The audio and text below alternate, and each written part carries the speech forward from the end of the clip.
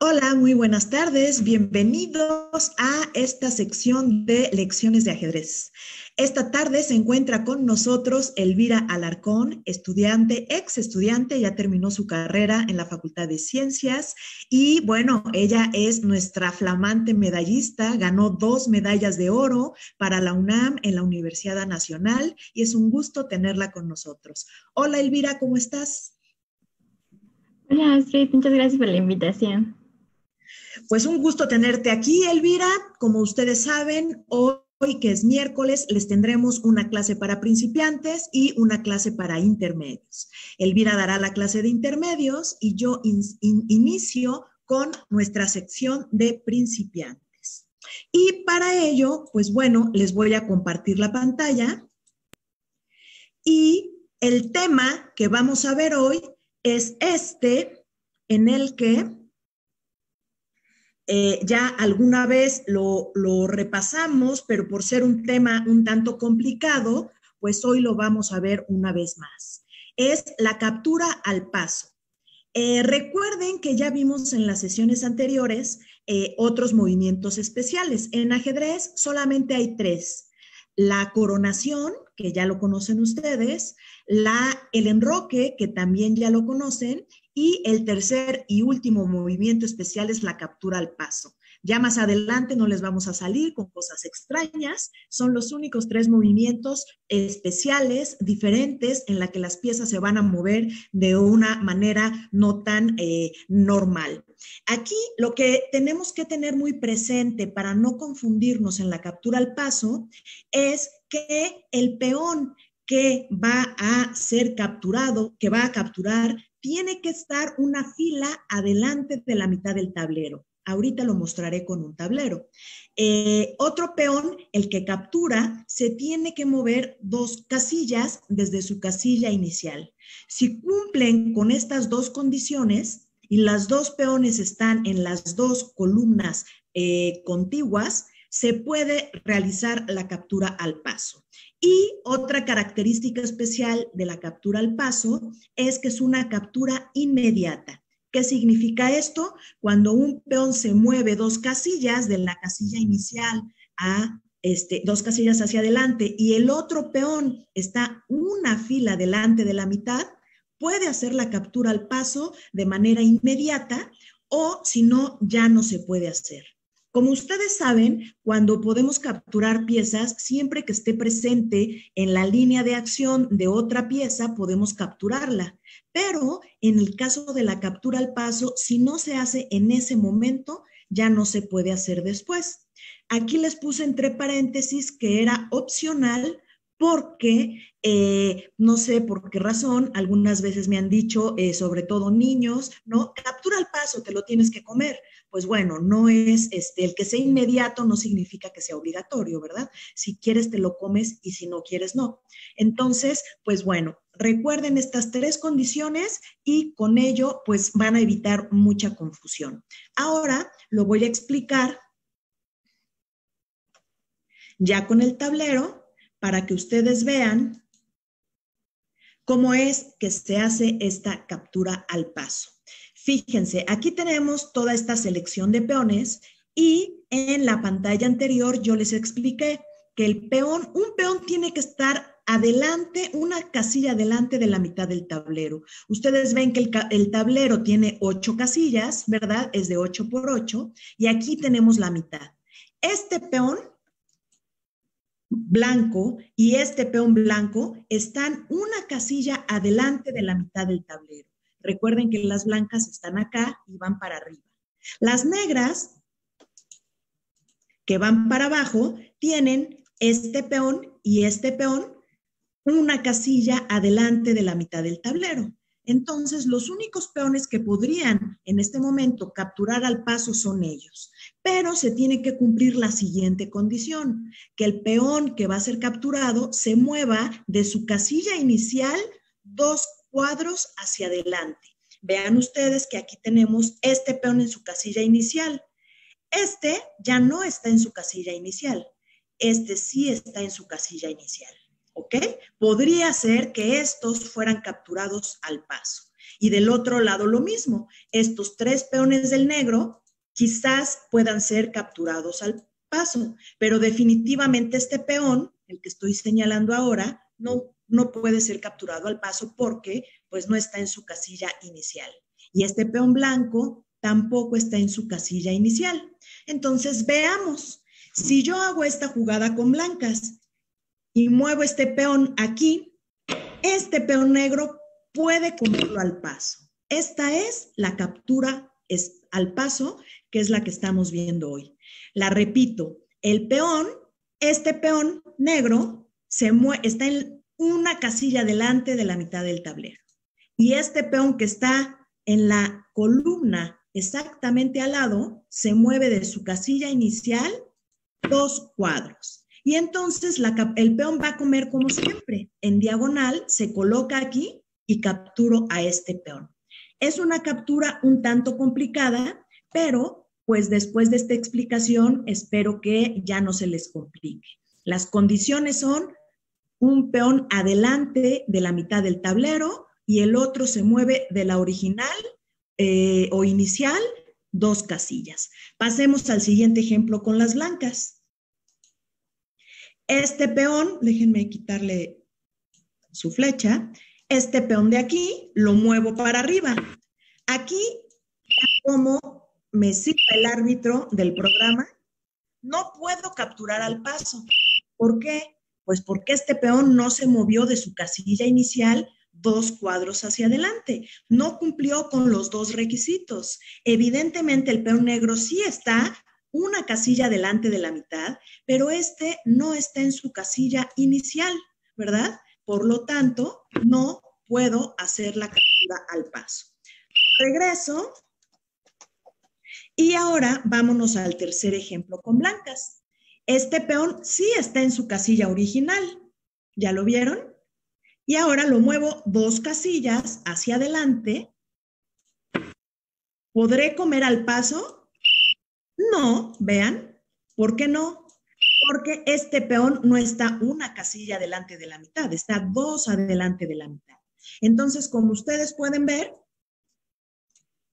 eh, tenemos aquí que aquí sí se podía comer al paso porque se cumplieron las dos reglas, aquí no, porque este no está en la, en la inicial y aquí tampoco porque este está dos adelante.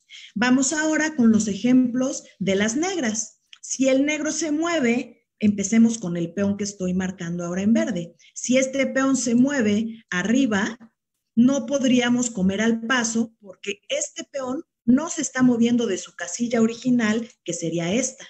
Como no está en la casilla original y no se mueve dos casillas, pues entonces tenemos que no podemos capturar al paso. ¿Ok?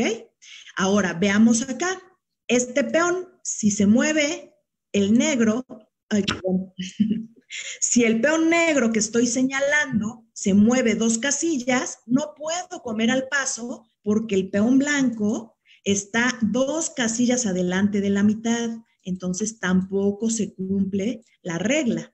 Y finalmente, veamos el peón negro que estoy señalando ahora. Si este peón lo muevo dos casillas, el peón blanco sí puede comer al paso, porque se cumplieron las dos condiciones.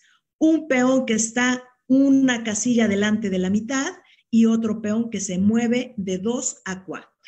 Espero que haya quedado suficientemente claro este ejercicio y ahora a todos los principiantes que nos acompañan, quisiera que nos dijeran eh, a través del chat de Facebook la respuesta a los siguientes ejercicios. Voy a empezar con las blancas. Este peón, mi pregunta es, si este peón se mueve de 2 a 4, ¿Es posible que el negro me capture al paso? ¿Sí o no? Vamos a esperar un momentito a ver si me puedes ayudar, Elvira. Sí, claro. A ver si, si el público nos, este, nos dice, ¿podremos capturar al paso al peón blanco? Se mueve de su casilla original dos casillas hacia adelante. Este peón negro lo puede capturar al paso o no. Esa es la pregunta. Y vamos a ver si el público hoy vino muy despierto. Eh, ya son las 7 de la noche, entonces bueno, espero que todos estén tranquilos en sus casas y muy atentos para esta lección de ajedrez de principiantes. Y aquí nos comenta Jesús Chávez, Cisco Leal, Mirna Martínez, que no. Evidentemente, muy bien, muy atentos los tres. No, porque el peón negro no está una casilla delante de la mitad, está dos casillas adelante de la mitad.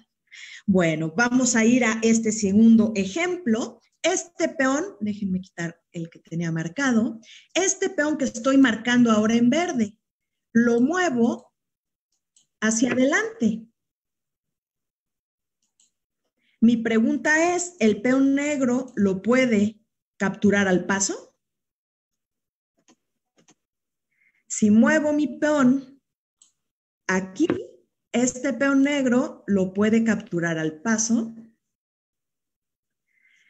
Recuerden, eh, mientras el público nos contesta si sí o si no se puede capturar al paso, pues yo les recuerdo que solo hay tres movimientos especiales.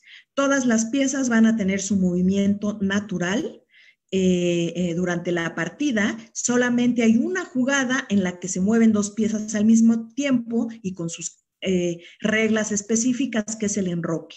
Hay una sola jugada en la que el peón, cuando llega la última fila, se corona y también con sus reglas específicas. Y el tercer y último movimiento especial es la captura al paso. Entonces, bueno, todos los principiantes ya saben perfectamente todas las reglas que existen en ajedrez. Ahora lo interesante es cómo aplicarlas de la mejor forma para elevar su nivel. ¿Tenemos ya respuestas del público, Elvira? Ya, ya hay respuestas y em, pues hay de las dos. Dicen que no y otros dicen que sí. Y por ahí hay no sé también. Ok, bueno, pues los que dicen que sí están equivocados y la respuesta es no. Una paloma para todos los que dijeron no. ¿Por qué? Porque no se están cumpliendo las dos reglas. Chicos, bien atentos. El peón que va a ser capturado se está moviendo de su casilla inicial dos cuadros. Ah, ¿verdad? Se está moviendo un cuadro y además no está saliendo de su casilla inicial. Es verdad que el negro sí está una casilla delante de la mitad del tablero, pero el peón blanco, vean que no se movió dos desde su casilla inicial. Entonces, mucho ojo, chicas y chicos, porque se tienen que cumplir forzosamente las dos condiciones que les he señalado. ¿Ok? Entonces, vámonos al último ejercicio de las blancas. Si yo muevo este peón que he señalado aquí a esta casilla, quiero que me digan si el negro puede capturar al paso. Esta es nuestra tercera y última pregunta con blancas. Vean si se cumplen las dos condiciones que dijimos. Y a ver qué nos dice el público. Si yo muevo esta dos, ¿el negro puede capturar al paso? ¿Sí o no?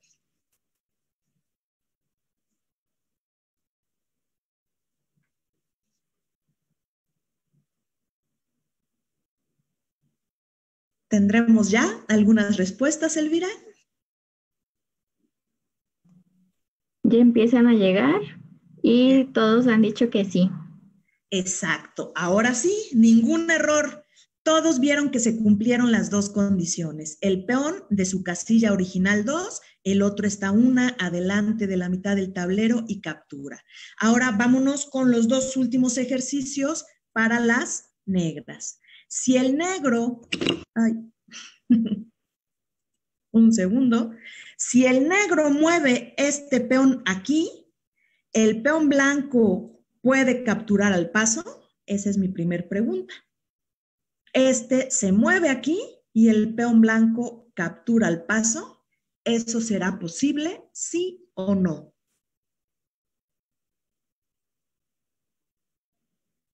Y bueno, mientras el público nos dice si es correcto aplicar en este caso la captura al paso, pues aprovecho para comentarles el siguiente tema que vamos a aprender hoy en principiantes y es el uso del reloj. Eh, ustedes saben que en una partida de ajedrez se utiliza un reloj de ajedrez porque este reloj mide el tiempo de ambos jugadores. Eh, las partidas de ajedrez sin reloj serían larguísimas, ¿no? Eh, podrías ganar por aburrimiento, le ganas a tu contrario porque el otro ya se durmió de que te tardaste tanto. Por lo tanto, pues bueno, ya desde hace muchísimos años eh, se inventaron los relojes de ajedrez que miden el tiempo y entonces hay dos maneras de ganar. Una, dando jaque mate a tu contrario y otra, si a uno de los dos se le acaba el tiempo, automáticamente pierde la partida. En el caso de que el que pierde la partida, su adversario, no tenga suficiente material para ganarme, entonces la partida termina en empate.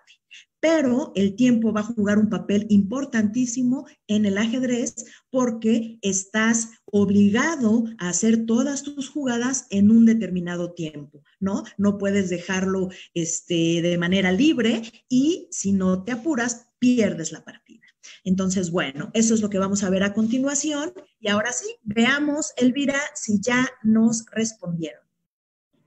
Eh, la mayoría respondió que no, por ahí hay un sí. Bueno, ese sí despistado, no se cumplen las dos condiciones. Ojo, vean cómo el peón blanco sí está una casilla delante de la mitad, pero el negro, mucho ojo, no cumplió la segunda condición, no se movió de dos a cuatro, no se movió dos casillas partiendo de su casilla inicial. Entonces, no se puede comer al paso. Eh, último ejercicio de captura al paso. Si el negro mueve este peón a esta casilla, el blanco puede comerlo al paso. Esta es la tercera, bueno, la cuarta y última eh, pregunta de la sesión de la captura al paso, si el peón negro se mueve de la casilla marcada a la otra marcada, el peón blanco, que es este, puede capturarlo al paso. Se cumplen las dos condiciones que hemos venido señalando.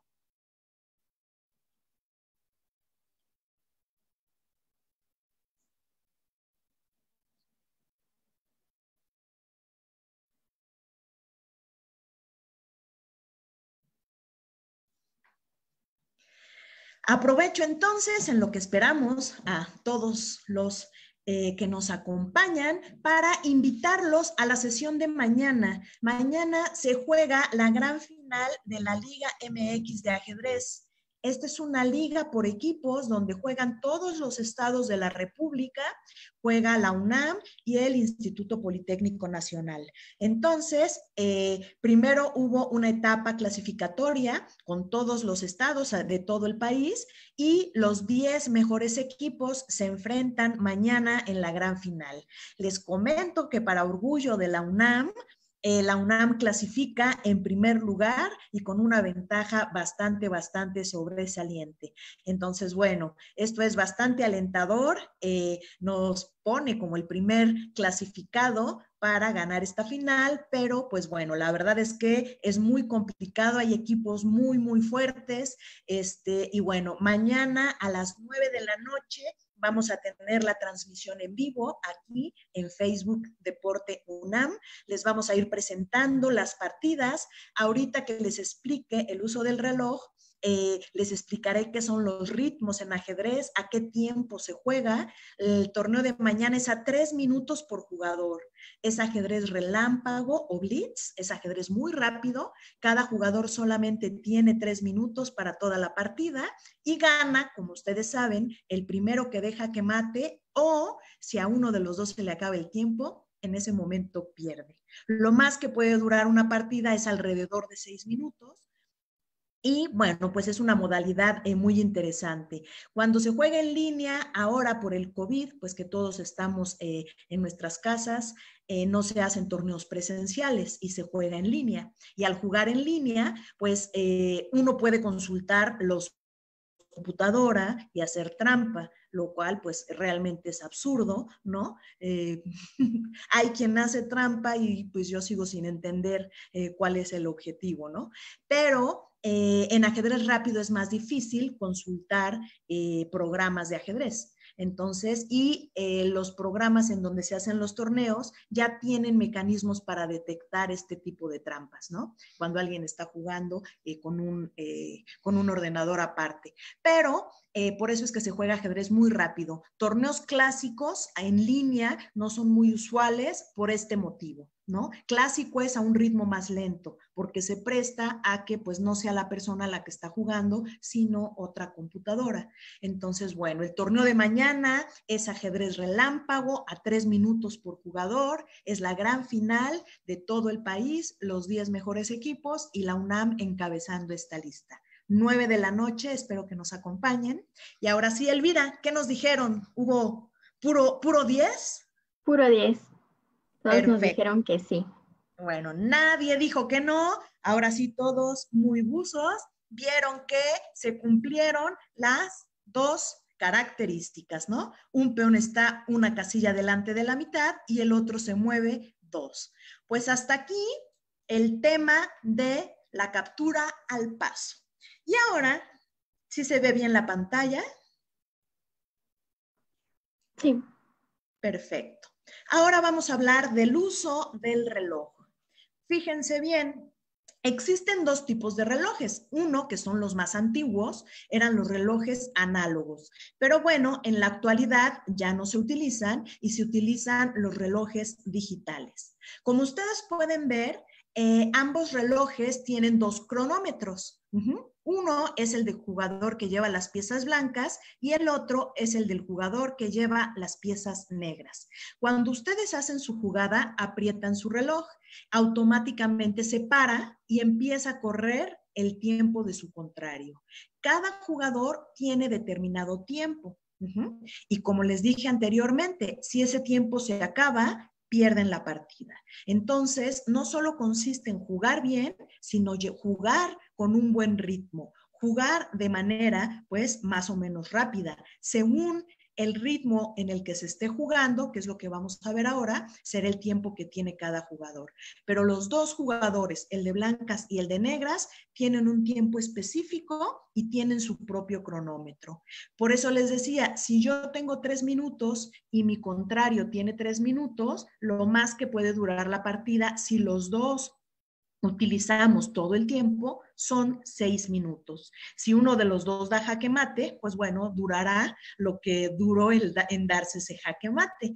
Y este, bueno, eso es lo que... Y algo muy interesante es que ustedes pueden aprovechar el tiempo del contrario para pensar. O sea, hago mi jugada, mi jugada, tiro, separa mi cronómetro y el tiempo que está corriendo es el de mi contrario. Y es un tiempo que yo estoy aprovechando para pensar. Y cuando el contrario me tira, pues bueno, yo ya utilicé ese tiempo para hacer mi jugada. Nos vamos más adelante. Aquí, como ustedes pueden observar, además de los relojes analógicos, que son los antiguitos, están los relojes digitales y por fortuna, pues ya existen muchas aplicaciones para el celular lo cual pues es una maravilla, ¿verdad? Aunque los relojes digitales, ahora les voy a explicar, tienen funciones que ni los analógicos ni los celulares tienen. Entonces, sí, para un torneo oficial, pues sí es indispensable contar con un reloj digital. Estos están muy monos, pero no cumplen con todos los requisitos necesarios para una partida profesional. Y aquí, pues bueno, ustedes aprietan uno de los dos lados del teléfono y se, se para y empieza a correr el otro. Y de pronto el otro aprieta y empieza a correr el nuestro, ¿no? Entonces, bueno, si no tienen un reloj, pues pueden utilizar una aplicación del celular y pues esto es maravilloso. Eh, ahora les explico, existen tres ritmos eh, generales en ajedrez y a su vez estos ritmos pueden cambiar. Cuando eh, se le da a cada jugador más de una hora, una hora o más, bueno, perdón, más de una hora, eh, será ritmo clásico.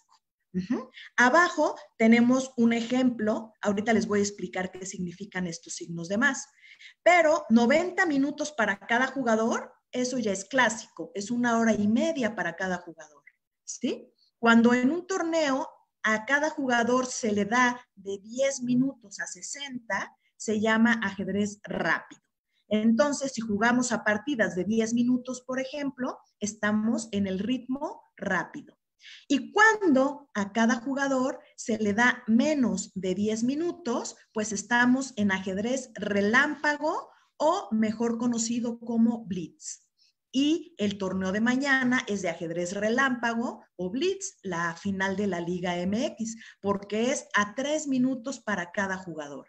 Son menos de 10 minutos y esto es ajedrez relámpago. Ahora, ¿qué significa el incremento? Bueno, por eso les expliqué que los relojes digitales tienen esta función. Es un incremento de 5 minutos cada que ustedes hacen una jugada o un incremento, ustedes programan el reloj a lo que gusten. Y hay partidas sin incremento, ¿no?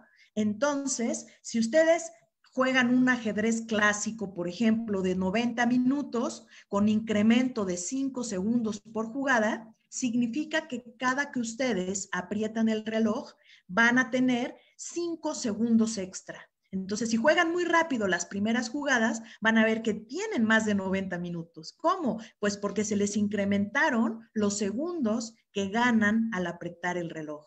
Por ejemplo, en las partidas de ajedrez rápido de 10 minutos, eh, se acostumbra a dar un incremento de 3 segundos. Cada que ustedes aprietan, les regala 3 segundos. Y también se acostumbra bastante que cuando se juegan partidas rápidas de tres minutos, se incrementa un segundo.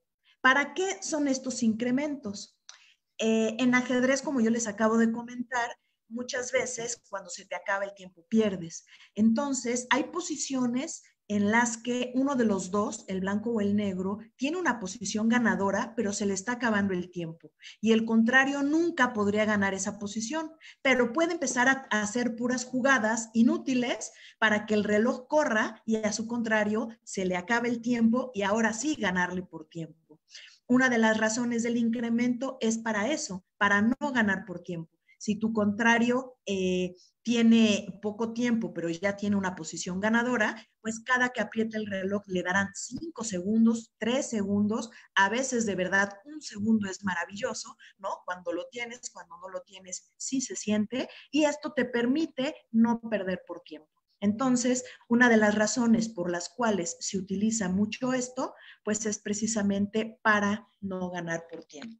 Y bueno, eh, esa es la manera en la que se utiliza el reloj. Espero que les haya quedado clarísimo a todos. Y si no, pueden ver cuantas veces quieran este video. Y también si quieren repasar la captura al paso, pues quedará grabado, ¿no? Entonces, me parece que todas las reglas del ajedrez ya las conocen a partir de estas clases que llevamos hasta el momento y ya eh, serán ahora cómo jugar bien, pero ya no habrá como reglas nuevas, ¿no?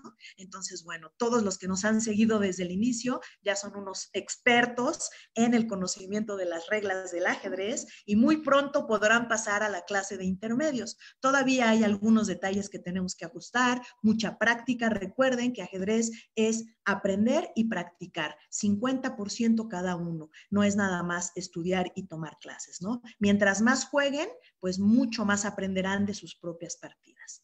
Y bueno, con esto terminamos ya la clase de principiantes y le cedo el micrófono a Elvira para que nos dé la clase de intermedios. Gracias. Antes en el chat hay una pregunta. Eh, dice que si el reloj se aprieta con la misma mano que se juega. Sí, me faltó decir eso. Qué bueno que lo preguntan. Eh, no pueden apretar el reloj con las dos manos. ¿Por qué? Porque yo podría, todavía ni termino de hacer mi jugada y ya apreté el reloj y ya está corriendo el tiempo del otro cuando todavía no termino. Entonces, con la misma mano que hago las jugadas es con la que debo apretar el reloj. Así evito que todavía no juego y ya les estoy apretando. Muchas gracias por la pregunta y ahora sí ya quedó eh, completo el tema. Sí. Eh, bueno, entonces voy a empezar a compartir em, mi pantalla. También otra pregunta dice que cuál es el propósito de la captura al paso. Ah, pues yo lo desconozco yo conozco solo las reglas, el propósito de por qué cada pieza se mueve como se mueve y por qué inventaron la captura al paso, la verdad es que no lo sé. ¿Tú lo sabes, Elvira? Eh, pues no, creo que solo es como pues una regla especial, ¿no? Que alguien ahí se inventó, pero no, no creo que tenga como un propósito como tal. Ya, sí, una regla extra, así como la coronación, ¿no? El enroque sí tiene un propósito muy específico, ¿no? Y la coronación, pues también, que una pieza se transforme en otra más valiosa. Bueno. Sí, así es. Ok. Bueno, pues yo para el tema de intermedios elegí el tema de la séptima fila. Y primero voy a decirles a qué me refiero con esto. Como sabemos, em, las filas son las casillas, las ocho casillas de manera horizontal. Entonces, al referirnos del lado de blancas, al referirnos a la séptima fila, pues literalmente es la, la que tiene el número 7 al lado. Y eh, del lado de negras, la séptima fila será la segunda fila. Entonces, eh, yo me estaré refiriendo como séptima fila, pero si cambiamos a la perspectiva de negras, em, será la segunda. Pero para que no haya confusiones, lo aclaro. Em, para la séptima fila es un método de invasión muy, muy utilizado. Normalmente se da más en el final del juego, sin embargo, no es específicamente de esta fase. Podemos y puede llegar una torre o una dama a la séptima fila en cualquier momento. Sin embargo, es más común en el final, puesto que no hay tantas piezas que lo eviten. Eh, por ejemplo, la posición que estamos viendo ahorita es un final, ya que no hay damas todavía y hay pocas piezas ya. Entonces, em, lo más importante de tener una pieza, una torre o una dama en séptima fila es elegir un, objetivo de ataque.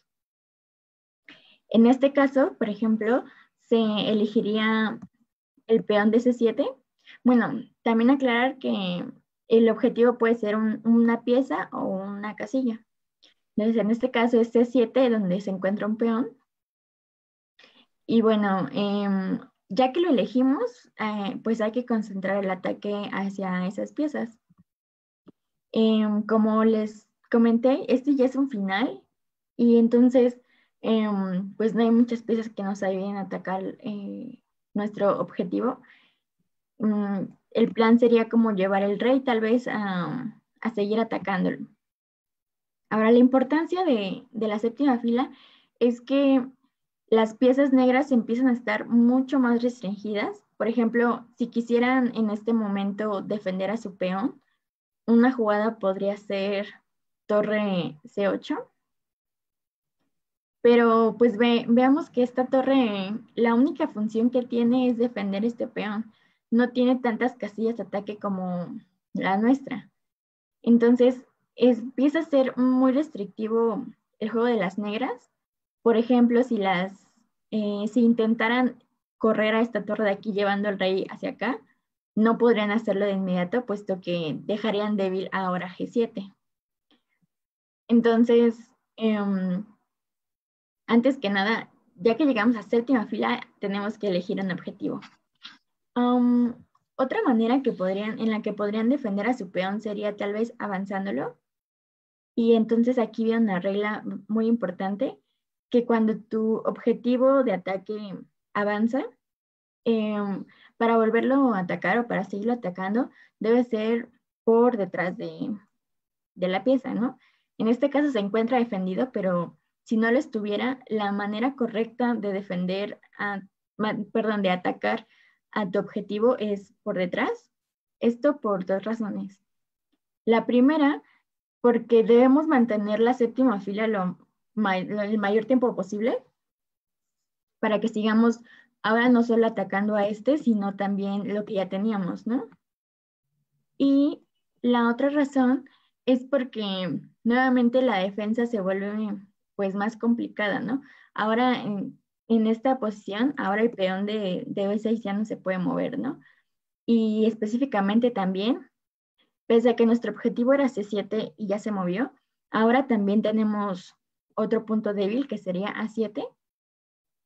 Entonces veamos cómo las debilidades de la posición no se eliminan, solo se transforman. Em, y bueno, entonces este es como el ejemplo más básico. Vamos a pasar al siguiente.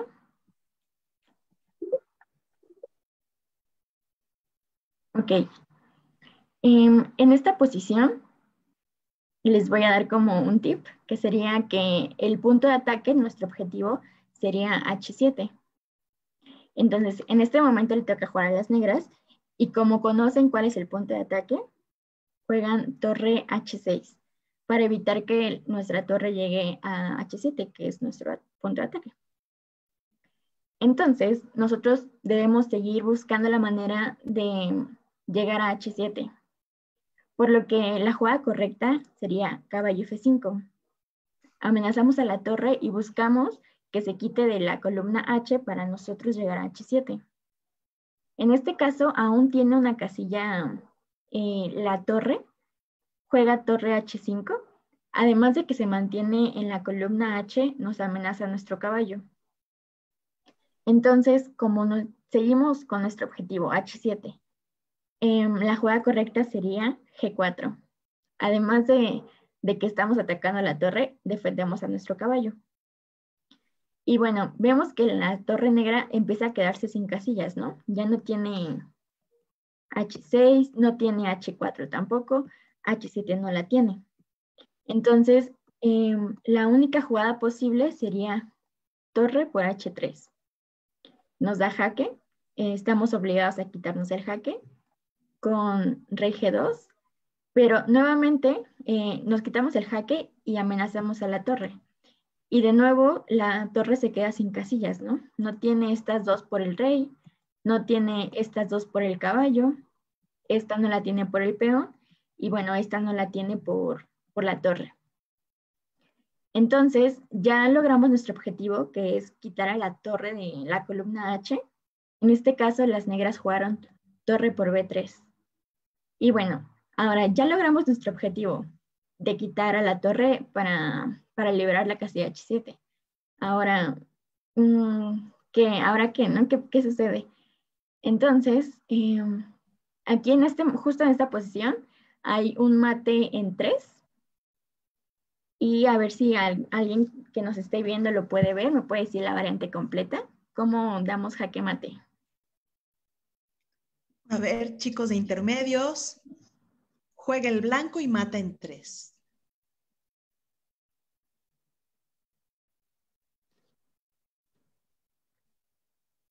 Póngame las tres jugadas, por favor.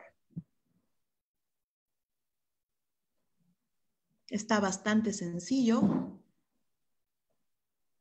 Hicimos todo para liberar la casilla que queríamos, entonces, pues, por ahí va, ¿no? Liberamos la casilla y se sumó el caballo. Además, exactamente.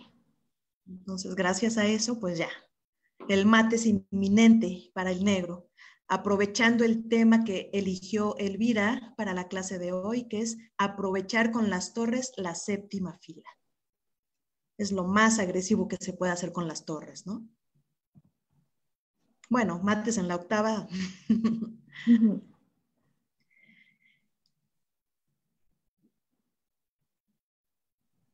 Veamos si el público nos da la secuencia de juega el blanco y mate en tres. Y bueno, mientras inviten mañana a sus conocidos que juegan ajedrez para que vean la final, Elvira también estará jugando, habrá muchos ajedrecistas muy buenos. Se acaba de incorporar Karen. Karen, dinos el, el mate en tres. este, me parece que está jugando un gran maestro de Perú, Jorge Cori, que es durísimo. Eh, Perú ha tenido dos jugadores durísimos en su historia, que es Julio Granda, gran maestro con resultados impresionantes a nivel mundial, y eh, ahora este chico que es muy joven, peruano, está jugando la Liga MX, entonces bueno, está interesante ver sus partidas.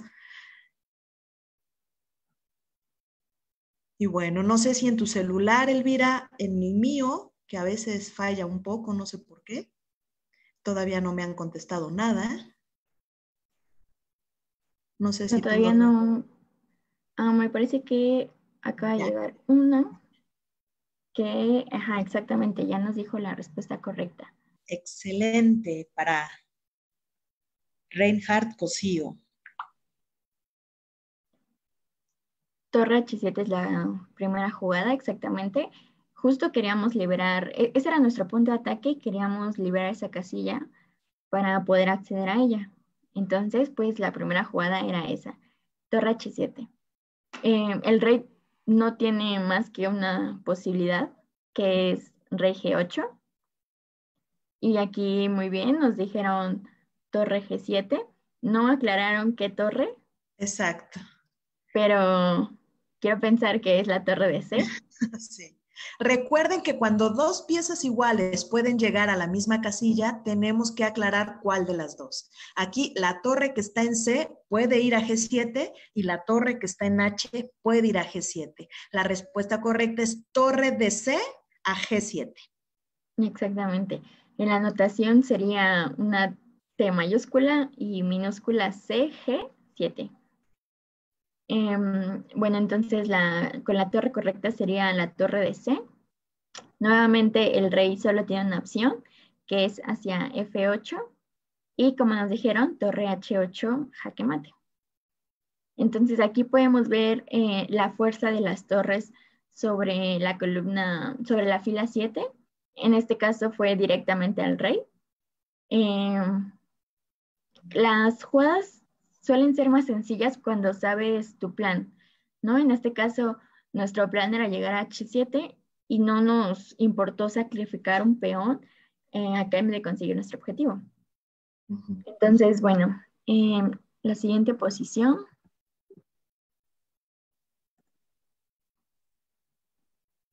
Mm.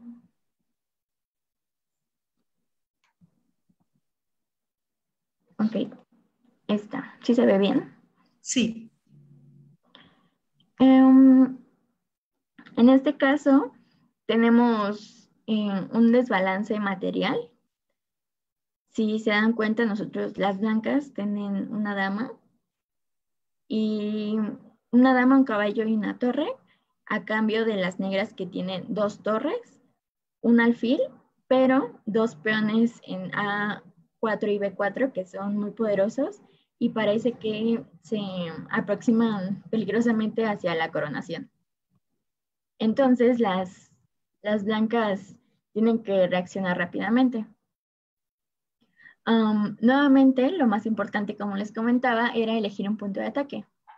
Entonces, el punto de ataque que como que puede parecer un poco más lógico en este caso sería el punto G7 porque pues justo nuestra torre está apuntando hacia ahí.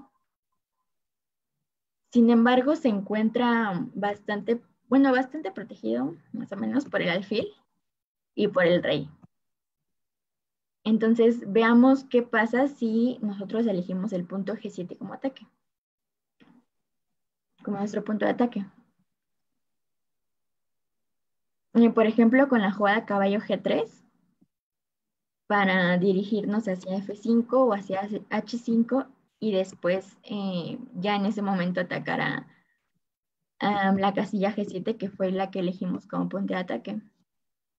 Bueno, a ello las negras respondrían con A3, que justo lo que les comentaba, ¿no? Em, están muy cercanos a la coronación y pues parece que es lo que más les conviene en este momento. Continuamos con nuestro plan eh, jugando caballo F5. Eh, las negras igual siguen con su plan en A2. Y bueno, dama E5 para seguir atacando el punto G7. Sin embargo, eh, pese a que ya hay tres atacantes y solo hay dos defensores, se omite la jugada A1 igual a dama que se convierte en un defensor del punto G7. Entonces, em, pues con esta variante podemos ver que elegir el punto G7 como punto de ataque no es la mejor opción. Entonces, nuevamente, en la posición inicial tenemos que reflexionar un poco más. Y ahora mi hint va a ser que eh, el punto de ataque es la casilla H7.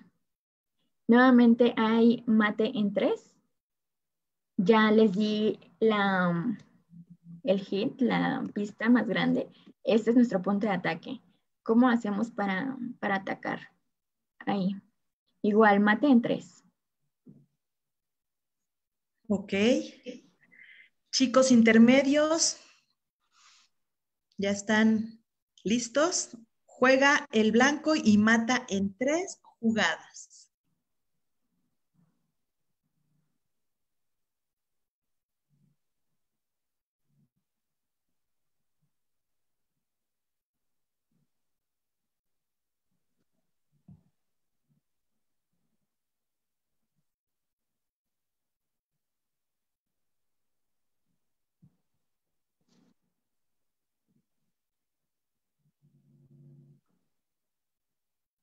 Karen ya nos dijo la respuesta.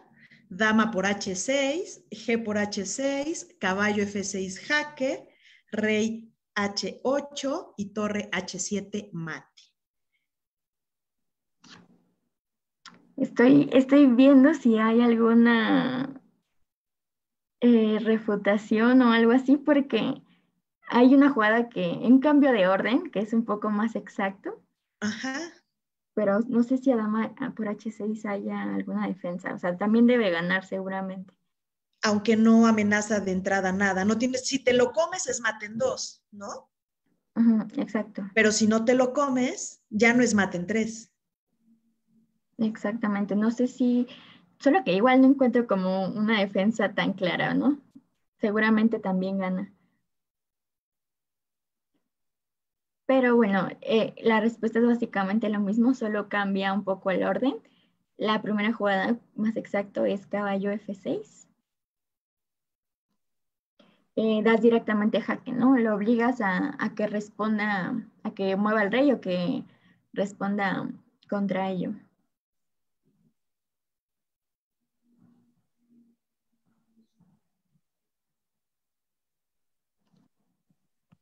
Caballo F6 y solo tiene dos opciones, ¿no? Comer o irse a H8. Exactamente, si captura, entonces dan jaque, rey H8 y bueno, con dama de 7 se gana la partida, ¿no? Ya no hay manera de... Aunque no fue mate en 3. Ajá, mate en 4, ¿verdad? y bueno, la otra, la otra opción es acá F6 que simplemente se mueva, no puede capturar directamente. Bueno, eh, si no captura directamente más bien. Y ahora sí, dama, dama por H6, lo obligamos a tomar y ya tenemos el, el mate que nos decía Karen.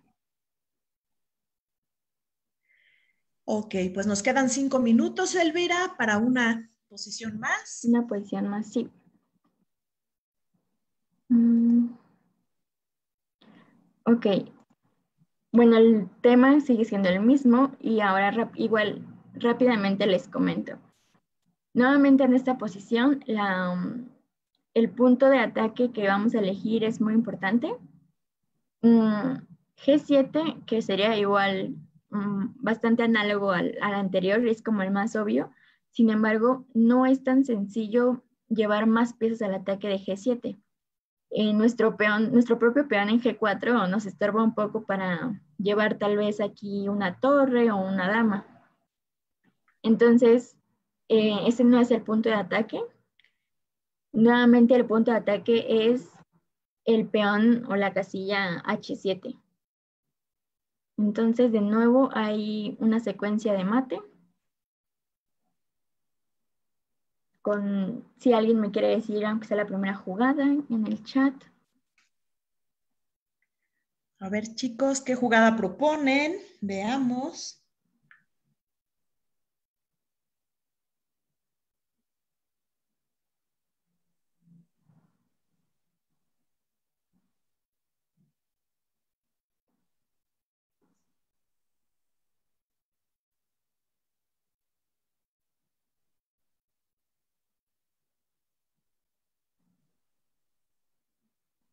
Aunque ya que las, ya que el jugador que lo haya logrado llevar una pieza a séptima fila, siempre hay que tener muy presente esto de elegir un punto de ataque, porque así las jugadas nos van a, nos van a salir muy, muy rápido, ¿no? Vienen a la mente muy rápido, ya que tienes el plan exacto, las jugadas salen solas.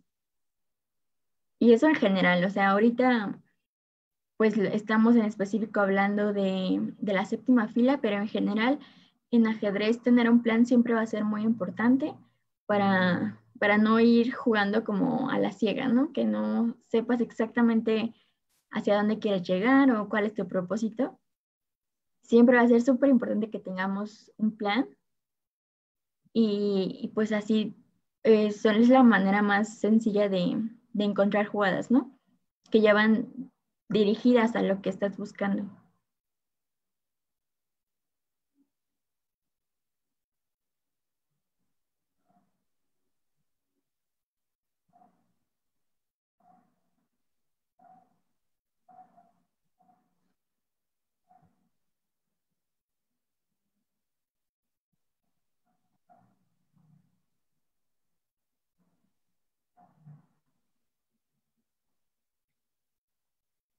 Bueno, creo que el, público no está muy motivado. Es un poco más difícil. Empieza con un sacrificio de torre. Torre por G7. Ok. Aquí pareciera que, o sea, yo les dije que el punto G7 no era el punto de ataque y por qué lo estoy capturando. Bueno, pues porque justo me va a ayudar a abrir las, la columna, la fila, perdón, hacia mi punto de ataque, ¿no? Que, como les comentaba era H7. Captura entonces el rey, rey por, rey por G7. Y ahora sí llevamos la siguiente torre, torre a C7. Y bueno, ahí se ve ya como las dos piezas se dirigen hacia nuestro punto de, ataque. Em, bueno, si, si juega el rey a H8, dama por H7 es jaque mate de inmediato. Aquí hay otras dos variantes eh, que podemos ver. Eh, tenemos que considerar antes de hacer el sacrificio también el rey hacia G8 y bueno, termina con dama por H7, rey F8, dama E7 nuevamente, rey H8 y dama G7. Y la otra es que después de torre S7 se vaya el rey hacia F8, que es creo que, la, que está un poquito más larga, eh, que es dama H6 jaque nuevamente, rey E8, dama E3, queremos entrar con jaque a la casilla, entonces si rey F8, dama E7, rey G8 y nuevamente dama G7, jaque mate. Perfecto. Eh, nos preguntaba Karen que si a la primer jugada de sacrificio, torre por G7, el rey se va a F8, ¿cómo continúas? Si a la primer jugada de sacrificio, aquí, ¿no? En este momento. Torre por G7 y rey F8. ¿Cómo continúas? Mm, creo que la manera más rápida sería con dama H6 o dama por H7, cualquiera de las dos debe ganar. Supongo que dama por H7 es más exacta. Llegamos, eh, capturamos nuestro punto de ataque, ¿no? Que es lo que queríamos. Estamos amenazando mate en dos. En una. Bueno, sí. Ah, bueno, se no, tiende dama G8 ahí. Sí, sí. Y no hay forma, ¿no? De, de, salvarse. Sí. Ok, muchas gracias. Pues muchas gracias, Elvira. Pues muy interesante este tema. Eh, si gustas ya dejar de compartir. Y pues bueno, espero que todos hayan aprendido el tema de la importancia de controlar la séptima fila, ¿no? Un tema de estrategia que nos explicó hoy Elvira Larcón, ex medallista de oro en dos ocasiones. Eh, un gusto, Elvira. Eh, próximamente aprovecho también para invitarlos, además de mañana, a la final de la Liga MX. Este domingo estará con nosotros el maestro FIDE Jorge Ramírez, quien eh, vive en Barcelona, España, se fue allá para subir su nivel de ajedrez, lo ha conseguido, es mexicano, nos va a platicar sobre su vida como ajedrecista, él ha vivido en París, ha vivido en Madrid, ahora está en Barcelona, entonces pues es bastante interesante ver la vida de un ajedrecista que se abre camino por Europa y nos va a mostrar dos de sus mejores partidas. Esto el próximo domingo y las, las siguientes sesiones de los domingos empezaremos con mujeres ajedrecistas eh, con logros eh, que han pertenecido a la UNAM. Estará con nosotros Yadir Hernández, quien fue entrenadora eh, de la UNAM durante muchos años, actualmente es entrenadora de la Benemérita Universidad Autónoma de Puebla, y después estará con nosotros mostrándonos mostrándonos sus dos mejores partidas, Elvira Alarcón. Entonces, la esperamos dentro de tres semanas, Elvira. Un gusto que hayas estado hoy con nosotros. Sí, muchas gracias. Y pues espero verlos a todos dentro de tres semanas. Y sigan las transmisiones. Sí, sí, sí. Pues contamos con su presencia mañana en la final y nos vemos el domingo. Chao. Chao. Saludos.